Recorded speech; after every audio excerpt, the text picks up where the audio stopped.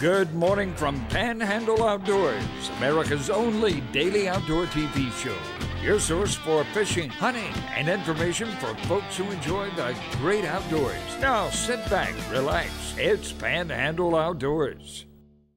All right, folks, we're here today with a young man, Mr. Buck Buchanan. Mr. Buchanan, tell, tell us about yourself. When were you born? Oh, I I was born in West Bay, 1918, So you were 103 years old. 103 years old. Wow. And uh, my dad was a fisherman, expert fisherman. He was also a turpentine business. And uh, every time he, where he was, I was there. Okay, you were, you were born at home, I was born at home. and uh, what was West Bay like when you were growing up? Just like any other old country town. Uh, of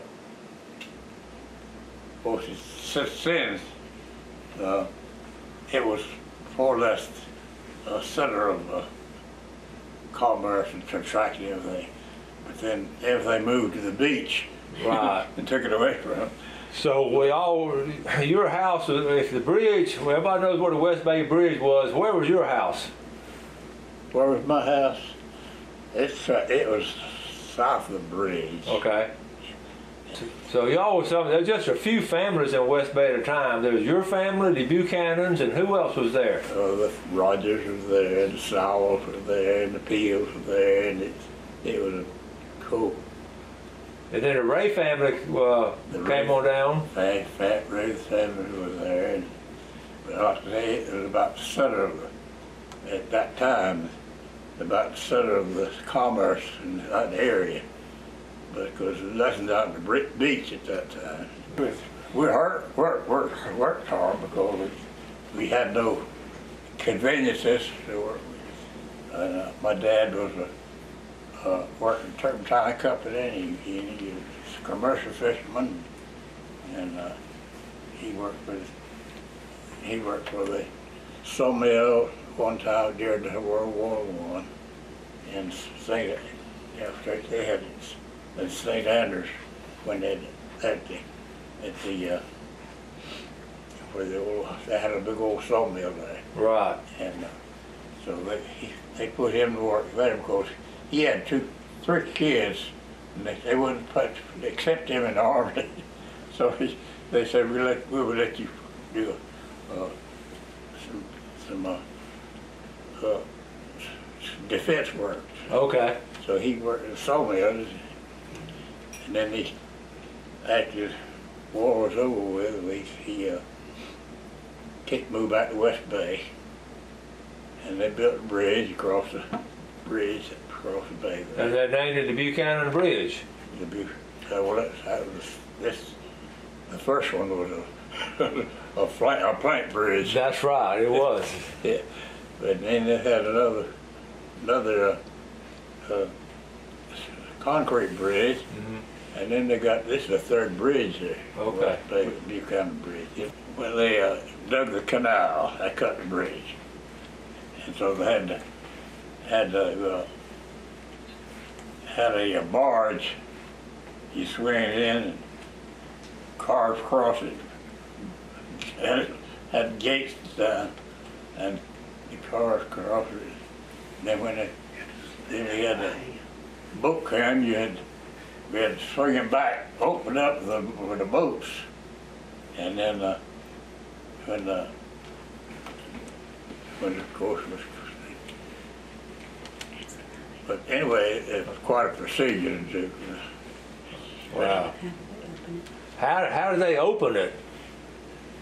But, Just, no, and you did, you did that? yes, had a winch, Just went, winch, uh, winch to open. yeah. That's cool. Okay, tell us about your dad fishing back in the 20s and 30s. What kind of fish? Most of them mullet, mullet, two speckled trout, Yeah. and, uh, had a, And I guess he built his own boat. Y'all built your own Uh, boats or? Well, Daddy wasn't a boat builder. He used, he used somebody else to build his boat. Okay. You remember who, what family, were it the Sowells or what family? built- Sowell. The Sowell family built, I remember they built some boats and all. And uh, you just have a big old net, just spread the net out West Bay? Yeah, it's 300 yard net. Yeah. Of course, he, he also was skippered and, and had a, had a, uh, a seine that about 600 yards. And the, the thing, they, he was, he was the skipper of the seine boat. Right. And then, uh, after he got through with that, he got, got his own net. and That's where I came in, So when, so what did you do? whatever needed to be done. So when they caught all those fish, what did y'all do with all the fish y'all caught? Uh, we sold them to a rest, uh, a uh, market there in West Bay, Okay. and uh, for a while we didn't have ice. We had had to salt them down, and so uh, then they then they got ice and they iced them down. But uh, So you did a lot of salting? I Did you? did some salting. Yeah. No, well, not uh, because I was too young for that at that time. Okay. So uh, they split the mullet and I pulled the guts out.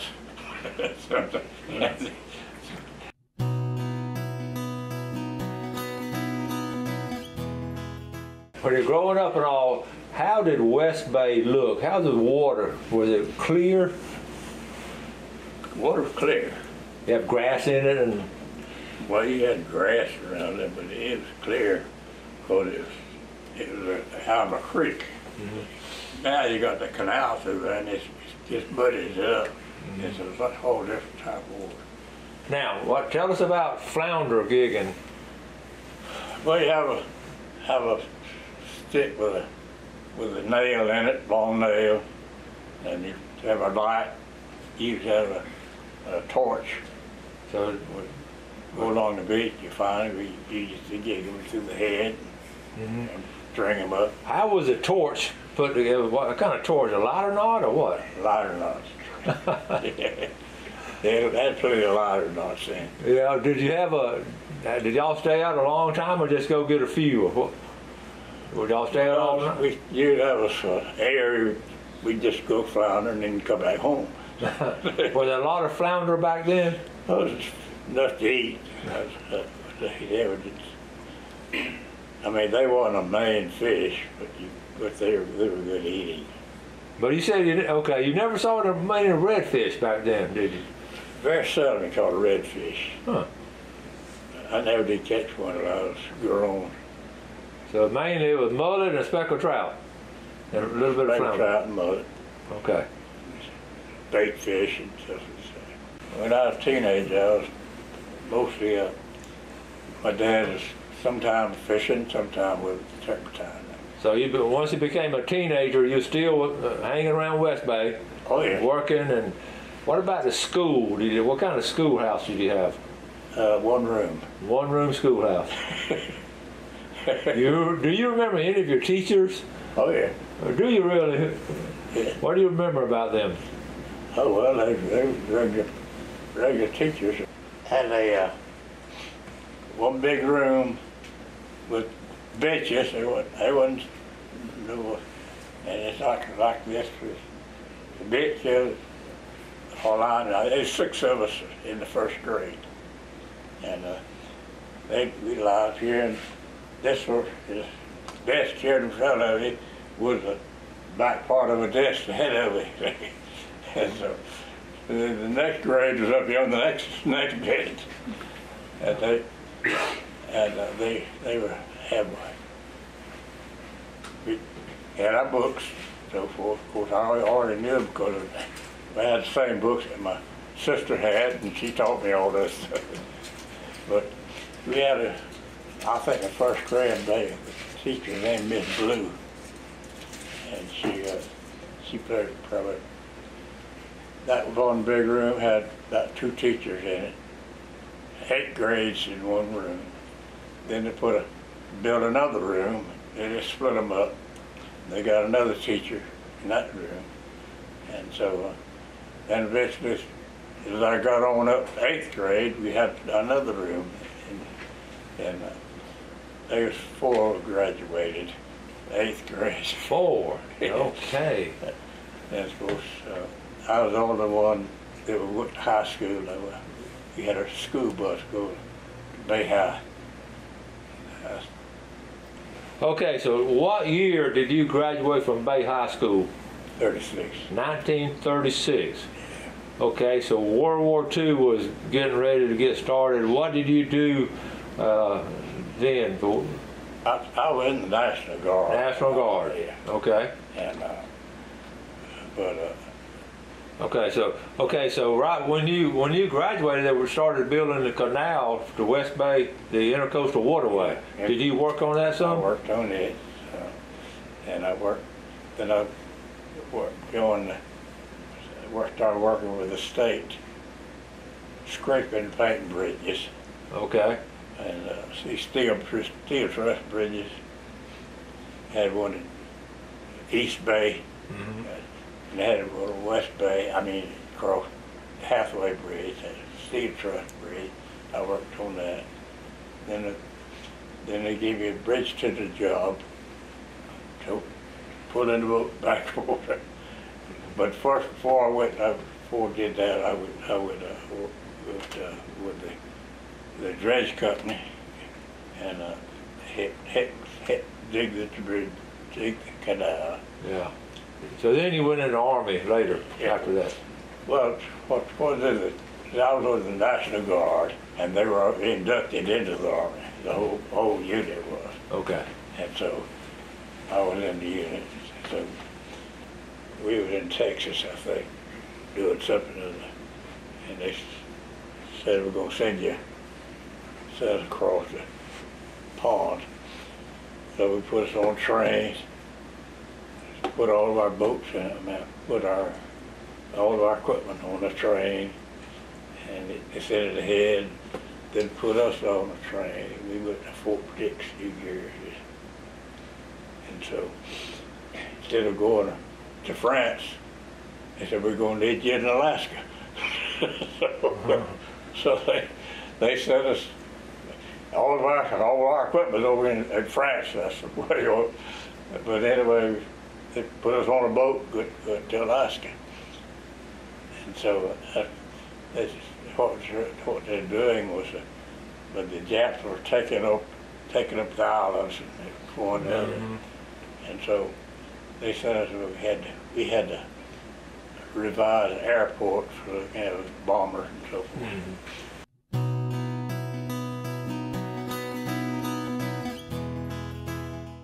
Okay, for Christmas '43, we was living in a tent with a double bed, double bed. We got up minus 43, Minus four three. minus 43. Whoa, that's cold for a boy That's from West. cold. For a boy from West Bay, that was cold. Yeah, and uh, their stove was a little coal stick heated by the by coal. They got some coal out, out the front, and us poor fraud boys couldn't couldn't build a fire with coal. but but it, we we learned. but but then later on we put us in Quonset huts. We didn't live on the base. We lived out in the woods. And so, uh, bear, deer, not too many deer, but, but the moose, grazing around, moose. About the fish. Go Oh, fishing. we, we, we fished too. We had a lot of lakes there. All kind of fish. Alaska in the forties. That's pretty strong. And so, so, uh, I don't know, I enjoy it. I mean, I ski. I learned how to ski. and, and, uh, hope one, uh, halibut. Okay, halibut. Yeah. I was on a boat. And you can, we was in Juneau Bay. And one of the one of the cooks, he had he was fishing with with a line. He handed me the line, line 'cause he had to go cook supper. And I got a 10, 10 pound car, caliber. That's old halibut they ever caught. A rainbow trout, plenty. Dolly Varden, plenty. Brown trout, plenty. There was a lot of fishing. That's cool. Cut a hole in the ice, fish through the hole. but I couldn't skate. I, I never could skate. My, my uh, uh, my ankle wouldn't take it. Wouldn't skate. Yeah. But, uh, but I learned how to survey. So, so that's where I learned engineering, mostly in Alaska. And when the war ended, do you remember when the war ended? Oh yeah, Where were you? In Fort Benning. In Fort Benning. Everybody was happy, wasn't it? Yeah, I was happy. Okay, very good. When the war ended, so everybody's happy. You got married during the war, so y'all started a family married before I got in the war. before you got in the war. That was smart. That Okay. was 1940. We got married in 1940, and I, I went, went. They inducted us in 40 into the army, Okay. and uh, so. Uh, So we came back to West Bay and I uh, came back to West Bay. After I got out of the army, I came, back and uh, uh, went to back, back work with the state. got your job. engineer.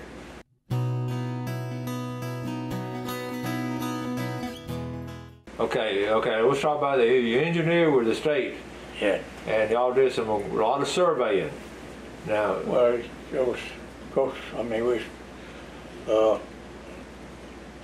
lots of it was, was building roads and so forth. So, so we had to supervise the building of the roads. Then, then we started, they, they put me on surveying and location new roads. And, uh, I worked, worked that and, and then they, they put me back on the, back on building, building roads again. So I'm working pretty well all, all again. You had a, you're famous for, for a lot of things, but I, one of the things that really stuck out my mind. Tell us about when they started planning Interstate 10 from the Alabama state line to Jacksonville. You were in on that, so what what happened on that? Well, they, they gave me maps, air photographs marked on it. Says, find this point and go this way. and that point was, was in Alabama. They're about to work a weapon station. And we found, found where the point and we crossed that river and, and, uh, So you drove the very first stake for inter, surveying Interstate 10, is that right? well, I, I, I put my foot to drive it there. Well, well, yeah, driving there, right.